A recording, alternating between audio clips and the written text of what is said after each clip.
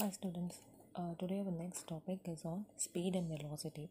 So you all know right from your 7th and 8th standard what you mean by speed. Speed you will define as the distance traveled in a given time. So how far you're going to travel a particular distance in a given time it's defined as your speed. So SI unit of speed is meter by second. Why? Because the SI unit of distance is meter and of time is second.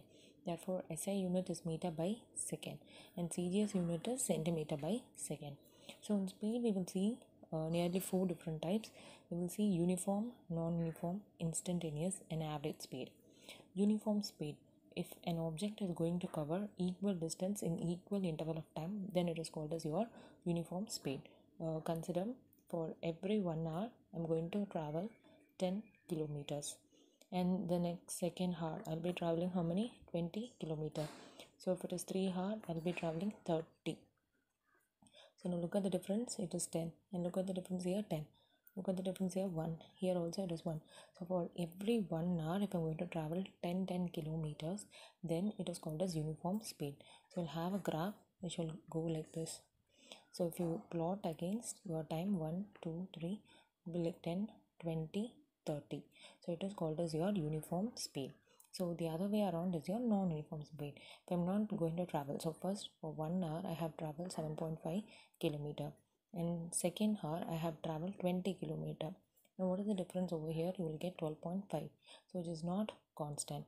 And for third hour if i'm going to travel only 25 i have covered only 25 kilometer.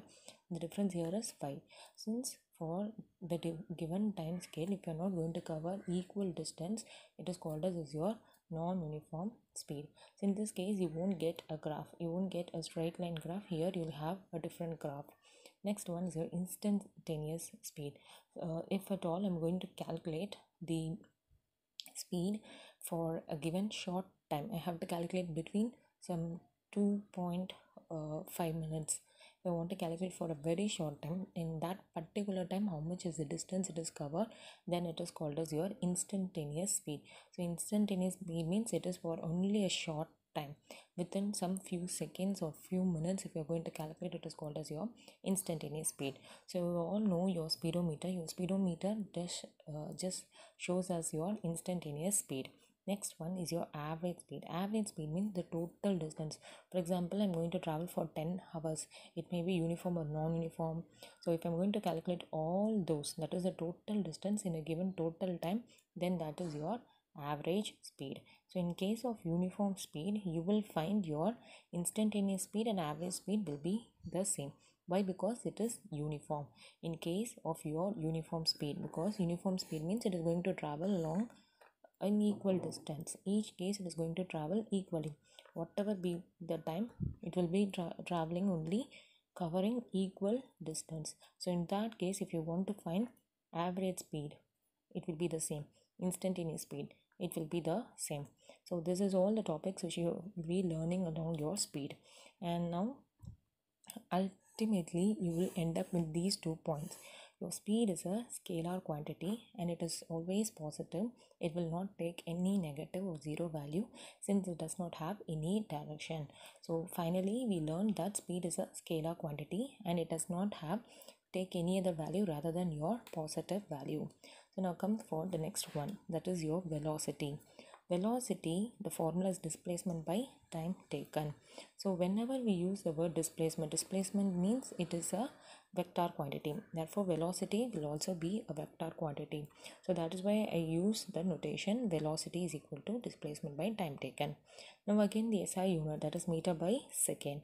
And cgs unit is centimeter by second so consider two objects. So I'm going to take A and B and they are traveling 50 km per hour, 50 km per hour. If they are going to travel along the same direction, look at the arrowhead which I'm using. So they are going to travel along the same direction with the same speed, then it is your then they are in your same velocity. But if at all only the direction is going to change then i can define that as your different velocity. Though they are having the same speed but they are going to travel in an opposite direction then the velocity is different. Or else one is traveling with 50 km per hour and the other one is traveling with 40 km per hour but they both are traveling along the same road then it is also a different velocity. So in case of velocity you have to uh, change either your direction or your magnitude. So you always know a scalar quantity can be changed with respect uh, sorry your vector quantity can be changed with respect to your magnitude as well as your direction.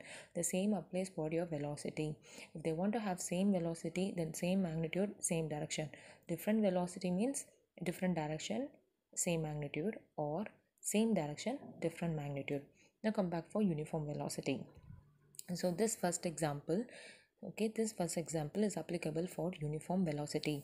So in this case if they are going to co- cover equal displacement in equal interval of time they are going to cover equal displacement in equal interval of time then that is your uniform velocity. Whenever a body falls in a frictionless surface if it is going to move in a frictionless surface it will always give us your uniform velocity. Uh, so now have this equation velocity is equal to displacement by time. So if i cross multiply this I'll get my displacement equation. If at all I want to find the displacement provided with velocity and time, use this formula, you will get your displacement equation. Now come back for the non-uniform or the variable velocity. So what I have given for different velocity, they should have different direction or they should have different magnitude. So using that, change in direction or change in magnitude or both together, it is called as your non-uniform velocity. Change in direction change in magnitude or both together is called as your non-uniform velocity. Now look at this one. An object is traveling in a circular path. So at the point a the direction if you draw a tangent line this is your direction when the object is slowly moving each and every point there will be a change in its direction now come back to the point b again over here the direction changes at the point C, it is also changing. At point D, it is also changing. Though they are traveling in a uniform speed, the velocity is changing. Understand? Though they are traveling in a uniform speed, speed will be same over here. They are traveling, speed is same. Whereas your velocity changes. Why it is changing? Because of your direction. So this is the best example where you can understand though a particle is having uniform speed its velocity tends to change so this is how it takes place now next one is your instantaneous as i told you instantaneous means if you're going to measure for very short interval of time so consider from here to here i'm going to measure that is called as your instantaneous. Within a very short interval of time if i'm going to measure it is called as your instantaneous velocity.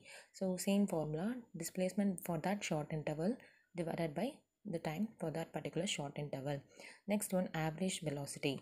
Average means for the whole path okay from a to d okay from a b c to d. If i'm going to try take for the whole path it is called as your average velocity total displacement by total time taken. So from this here we will get an idea.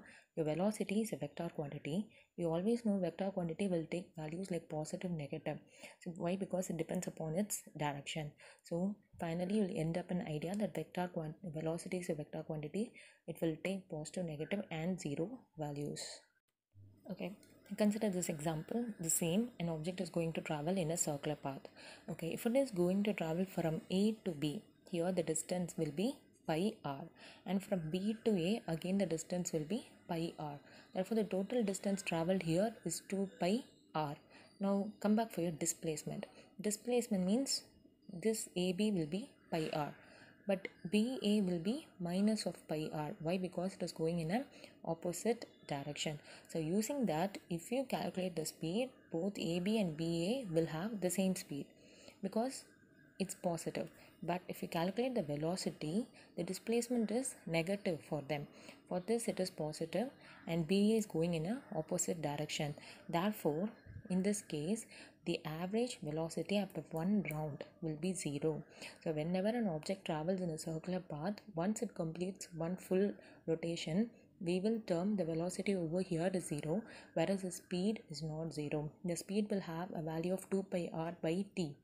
The speed will have a value of 2 pi r by t, whereas your velocity will become zero. Why it is becoming zero? Because pi r and minus pi r if you add them both it will become 0 so in order to do that you have to recall between your distance and displacement. Same example i'm giving a to b. So if a to b is 10 centimeter and b to a is also 10 centimeter. Okay if i want to travel from a to b it is totally 10 centimeter.